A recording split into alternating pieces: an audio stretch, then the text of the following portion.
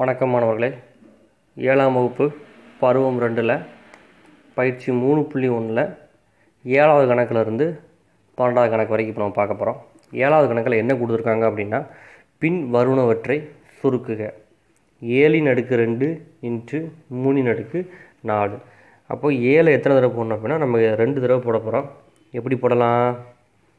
ஏழு இன்ட்டு ஏழு இன்ட்டு மூணு நாலு தடவை போட போகிறோம் மூணு இன்ட்டு மூணு இன்ட்டு மூணு இன்ட்டு மூணு. போட்டச்சாப்பா பெருக்கும்போது எப்படி பெருக்கணுன்றிருக்கேன் ரெண்டு ரெண்டாக பெருக்கணும்னு சொல்லியிருக்கேன். அப்போ ஏழு ஏழையும் பெருக்கணும்னா நாற்பத்தி ஒன்பது இன்ட்டு மூணையும் மூணையும் பெருக்கணும்னா ஒன்பது. இந்த மூணை இந்த மூணையும் பெருக்கணும்னா ஒன்பது. இப்போ என்ன செய்ய போகிறோம் அப்படின்னா இந்த நாற்பத்தி ஒன்பதையும் இந்த ஒன்பதையும் பெருக்க போகிறேன் இந்த ரெண்டையும் பெருக்க போகிறேன் பெருக்க நமக்கு என்ன வரப்போகுது அப்படின்னா நானூற்றி நாற்பத்தி ஒன்று இன்ட்டு ஒன்பது. நானூற்றி நாற்பத்தி ஒன்று ஒன்பதையும் பெருக்கணும் அப்படின்னா மூவாயிரத்தி தொள்ளாயிரத்தி அறுபத்தி ஒன்பது கிடைக்கும். இப்போ அடுத்த ரெண்டாவது கணக்கு என்ன கொடுத்துருக்காங்க அப்படின்னா மூணின் அடுக்கு ரெண்டு இன்ட்டு ரெண்டின் அடுக்கு நாலு. மூணு ரெண்டு தடவை போடணும். மூணு இன்ட்டு மூணு. ரெண்டு நாலு தடவை போடணும். ரெண்டு இன்ட்டு ரெண்டு இன்ட்டு ரெண்டு. சரியா? எப்படி பெருக்கணுன்ட்ருக்கேன் ரெண்டு ரெண்டாக பெருக்கணுன்ட்ருக்கேன் இப்போ மூணா ஒன்பது. ரெண்டு ரெண்டாக நாலு. ரெண்டு ரெண்டா? நாலு. இப்போ இந்த ஒன்பது நாலையும் பெருக்குனா என்ன வரும் அப்படின்னா ஒம்பித்துனாங்க? முப்பத்தாறு இன்ட்டு நாலு. இந்த முப்பத்தாறையும் நாளையும் பெருக்க போகிறோம் முப்பத்தாறையும் நாளையும் பெருக்கணும்னா நூற்றி நாற்பத்தி நாலுன்னு வரும். இப்போ அடுத்த கணக்கு பாருங்கள் அஞ்சு ஸ்கொயர்ட் பத்தின் அடுக்கு நாலு. இல்லாட்டா ஐந்தின் அடுக்கு ரெண்டு இன்ட்டு பத்தின் அடுக்கு நாலு. அஞ்சு எத்தனை தடவை போடணும்? ரெண்டு தடவை போடணும். அஞ்சு இன்ட்டு அஞ்சு. பத்து எத்தனை போட போகிறோம் நாலு தடவை போடணும். பத்து இன்ட்டு பத்து இன்ட்டு பத்து இன்ட்டு பத்து. ரெண்டு ரெண்டாக பெருக்கணுமா? இந்த ரெண்டு அஞ்சையும் பெருக்கணும்னா இருபத்தி அஞ்சு. இந்த ரெண்டு பத்தையும் பெருக்கணும்னா நூறு. இந்த ரெண்டு பத்தையும் பெருக்கணும் என்ன வரும் அப்படின்னா நூறுன்னு வரும் சரியா? இப்போ இருபத்தஞ்சி நூறையும் பெருக்கணும்னா ரெண்டாயிரத்தி ஐநூறுன்னு வரும். இன்ட்டு நூறு. ரெண்டாயிரத்தி ஐநூறையும் நூறையும் பெருக்க போகிறோம் எத்தனை பா? இருபத்தஞ்சா? எத்தனை ஜீரோ இருக்குது இங்கே ரெண்டு ஜீரோ இங்கே ரெண்டு ஜீரோ. அப்போ நாலு ஜீரோ போட்டுக்கோங்க. அவ்வளோதான். பின்வருவனவற்றின் மதிப்பை காண்க. மைனஸ் நாலு ஹோல் பவர் ஸ்கொயர்ட் அப்போ மைனஸ் நாலு இன்ட்டு மைனஸ் நாலு. மைனஸ் இன்ட்டு மைனஸ் ப்ளஸ் சரியா? அப்புறம் வரக்கூடிய answer minus into minus plus நாளை நாளையும் பெருக்கணும்னா ப்ளஸ் பதினாறு. அடுத்து நமக்கு என்ன வந்திருக்குன்னு பாருங்கள் மைனஸ் மூணு அப்படியே இருக்குது ரெண்டு எத்தனை தடவை போட மைனஸ் ரெண்டாக மூணு தடவை படைச்சிருக்காங்க. அப்போ மைனஸ் ரெண்டு இன்ட்டு மைனஸ் ரெண்டு இன்ட்டு மைனஸ் ரெண்டு. ரெண்டு ரெண்டாக பெருக்கோமா?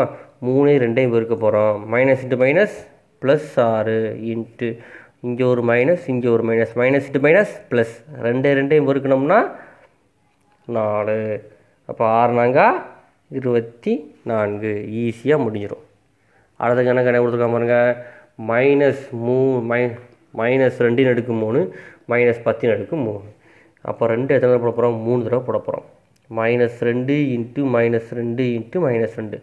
மைனஸ் பத்து எத்தனை பண்ணணும் மூணு தடவை போடணும். மைனஸ் பத்து இன்ட்டு மைனஸ் பத்து இன்ட்டு மைனஸ் பத்து. பெருக்கிக்கலாமாப்பா? ரெண்டு ரெண்டாக பெருக்கணும். மைனஸ் இன்ட்டு மைனஸ் ப்ளஸ் நாலு. மைனஸ் இன்ட்டு மைனஸ் ரெண்டையும் பத்தையும் பெருக்கணும்னா இருபது. மைனஸ் இன்ட்டு மைனஸ் ப்ளஸ் பத்தையும் பத்தையும் பெருக்கணும்னா நூறு. இப்போ நாலையும் இருபதையும் பெருக்குனா எண்பது. இந்த நூறை அப்படியே போடணும். எண்பதையும் நூறையும் பெருக்கினா நமக்கு என்ன வரும் அப்படின்னா எட்டாயிரம் வரும். இப்போ நமக்கு நாலாவது கணக்கு போகலாம். நாலாவது கணக்கு என்ன கொடுத்துருக்காங்க அப்படின்னா அடுக்கு விதிகளை பயன்படுத்தி எளிய அடுக்கு வடிவில் சுருக்கி எழுதுக. சரியா? இதுக்கு என்ன விதி வரும்னு சொல்லி ஒவ்வொன்றுக்கும் நான் சைடு எழுதிருப்பேன் ரைட் ஃபஸ்ட்டு விதியை சொல்லிட்டு தான் கணக்கு நடத்துவேன். விதி என்ன இருக்குது அடிமானம். ஒன்று போல் இருக்குது பாருங்கள் ரெண்டுலுமே என்ன இருக்குது ஏ இருக்குது சரி அப்போ அடிமானம் ஒன்று போல் இருந்து அடுக்கு வேறு மாதிரி இருந்துச்சுன்னா இந்த ரெண்டு அடிமானத்துக்கும் ஒரே அடிமானம் எழுதிட்டு ரெண்டு அடுக்கையும் கூட்டிக்கலாம். சரியா?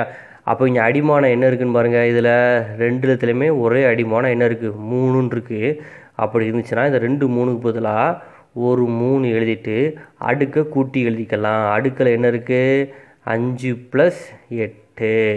அப்போ அஞ்சையும் எட்டையும் கூட்ட போகிறோம் சரியா? எப்போ அடிமானம் நமக்கு ஒன்று போல் இருக்கும் பொழுது அடுக்கு ரெண்டையும் கூட்டிக்கலாம். அஞ்சையும் எட்டையும் கூட்டினா என்ன வரும் அப்படின்னா பதிமூணு. ரெண்டாவது கணக்குலையும் பாருங்கள் அடிமானம் எப்படி இருக்குது ஒன்று போல் இருக்குது அடிமானம் ஒன்று போல் இருந்தால் ரெண்டுக்கு பதிலாக ஒரே ஒரு அடிமானம் போட்டுக்கலாம். அடுக்கு ரெண்டையும் கூட்டணும். அப்போ நாலு ப்ளஸ் பத்து. அப்போ ஏயின் அடுக்கு பதினாலு. சரியா? இங்கே பாருங்கள் அடிமானம் ஒன்று போல் இருக்கா? அப்போ ரெண்டு அடிமானத்துக்கு பதிலாக ஒரு அடிமானம் எழுதிக்கலாம். அடுக்கு ரெண்டையும் நம்ம என்ன அப்படின்னா கூட்டுவோம். அப்படி தானே பெருக்கிறது இருந்தால் கூட்ட போகிறோம் அப்போ கூட்டினா என்ன வரும் அப்படின்னா எக்ஸ் ப்ளஸ் ரெண்டு. ரைட் முடிஞ்சது. இது அடுத்த மாடல். அதாவது வகுத்தல் இருந்தால் நம்ம அதை எப்படி எழுதுவோம் அப்படின்னா பையில் எழுதலாம். சரியா? அப்படி பையில் வகுத்தல் இருக்கும்போது அடிமானம் ஒன்று போல் இருந்துச்சுன்னா அடுக்கு ரெண்டையும் கழிச்சிக்கலாம். எப்போ வகுத்தில் இருந்து அடிமானம் ஒன்று போல் இருந்தது அப்படின்னா நம்ம அடுக்கு இங்கே கழிச்சிக்கலாம். இப்போ இங்கே என்ன இருக்குது இதை பையில் எழுதலாமா? அப்போ ரெண்டின் அடுக்கு அஞ்சு பை ரெண்டின் அடுக்கு மூணு. அடிமானம் ஒன்று போல் இருக்கா? அப்போ அடுக்கு ரெண்டு என்ன செஞ்சுக்கலாம்? கழிச்சிக்கலாம். வகுத்தல் இருந்தால் அப்போ என்ன எழுதுவோம்? அஞ்சு மைனஸ் மூணு. அஞ்சு மூணையும் கழிச்சா என்ன வரும் அப்படின்னா நமக்கு ரெண்டுன்னு வரும். அடுத்தது பாருங்கள் அடிமானம் ஒன்று போல் இருக்குது வகுத்தல் இருக்குது அப்போ என்ன செய்ய போகிறோம் கழிக்க போகிறோம் அப்போ இப்படி டேரெக்டாக போட்டுக்கலாமா? பதினெட்டு எட்டு மைனஸ் நாலு. சரியா? அப்போ எட்டுலேருந்து நாலு கழிச்சா என்ன வரும்? நமக்கு ஆன்சர் நாலுன்னு வந்துடும் ரைட் அடுத்தது பாருங்கள் இங்கே பாருங்கள் அடுக்குக்கு மேலே அடுக்கு. இப்படி அடுக்குக்கு மேலே அடுக்கு இருந்துச்சுன்னா இந்த ரெண்டு அடுக்கையும் நம்ம என்ன செஞ்சுக்கலாம் அப்படின்னா பெருகிக்கலாம் என்ன செஞ்சுக்கலாம்? பெருகிக்கலாம் அப்போ இங்கே என்ன இருக்குது அடுக்குக்கு மேலே அடுக்கு. அப்போ நாலு இன்ட்டு மூணு. அப்போ நாலையும் மூணையும் பெருக்க நமக்கு என்ன வரும் அப்படின்னா பனிரெண்டுன்னு வரும். சரி இங்கே நமக்கு என்ன இருக்குது அடுக்குக்கு மேலே என்ன இருக்குது அப்படின்னா அடுக்கு இருக்குது சரியா? ஆனால் இந்த ஒரு அடுக்கில் நமக்கு என்ன இருக்குது அப்படின்னா ஜீரோன்னு இருக்குது ஏதாவது ஒரு அடுக்கில் ஜீரோன்னு வந்துச்சுன்னா நமக்கு ஆன்சர் என்னது தான் ஒன்று தான் ஃபஸ்ட்டு அடுக்குக்கு மேலே அடுக்கு இருந்தால் அடுக்கு ரெண்டை இணைச்சியும் அப்படின்னா பெருக்குவோம். இங்கே ஜீரோன்னு இருக்கா? அப்போ எக்ஸ் பவர் ஆஃப் ஜீரோ ஏதாவது ஒன்று அடுக்கில் ஜீரோன்னு இருந்தால் ஆன்சர் என்னது? ஒன்று அடுத்தது அடிமானம் வேறையாக இருக்கும். இதுக்கு முன்னாடி பார்த்ததில் அடிமானம் சேமாக இருக்கும். இப்போ அடிமானம் வேறையாக இருக்கும். ஆனால் அடுக்கு ஒன்று போல் இருக்கும். அப்படி இருந்துச்சுன்னா இதை நம்ம எப்படி எழுதணும் அப்படின்னா முதல்ல அடிமானத்தை எழுதுங்க. என்ன அடிமானம் இருக்குது ஒன்பது இன்ட்டு மூணு. அடுக்கு ஒன்று போல தான் இருக்குது ரெண்டுக்கு சேர்த்து ஒரே அடுக்கு. என்ன அடுக்கு போட்டிருக்கோம்?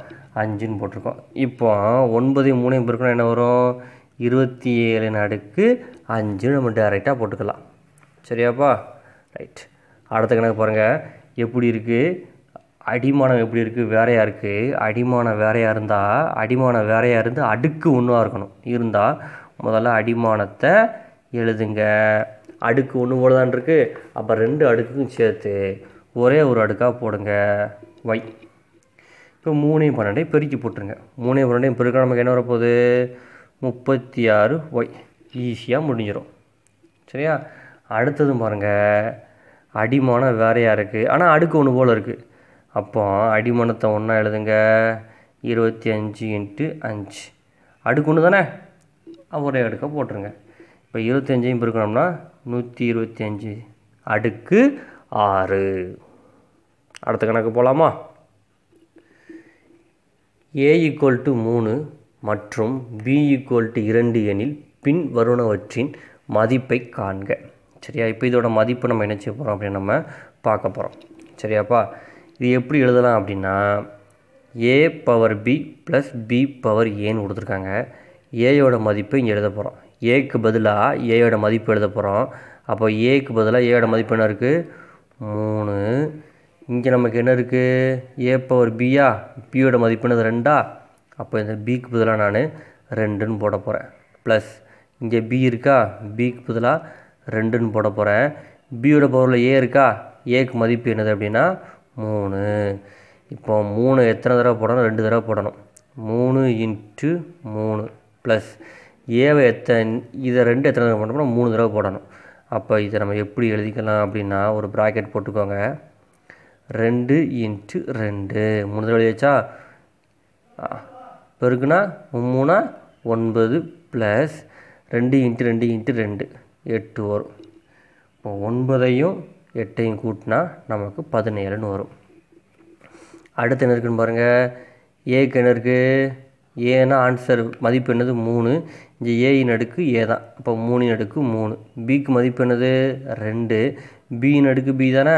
அப்போ பிக்கு பதிலாக என்ன பண்ண போகிறோம் ரெண்டின் அடுக்கு ரெண்டு. இப்போ என்ன செய்ய போகிறோம் ஏவை எத்தனை தடவை போடணும் அப்படின்னா ஏயின் அடுக்கு மூணு தானே? அதாவது பியின் அடுக்கு மூணு. இப்போ மூணு இன்ட்டு மூணு இன்ட்டு மூணு மைனஸ் ரெண்டு இன்ட்டு ரெண்டு.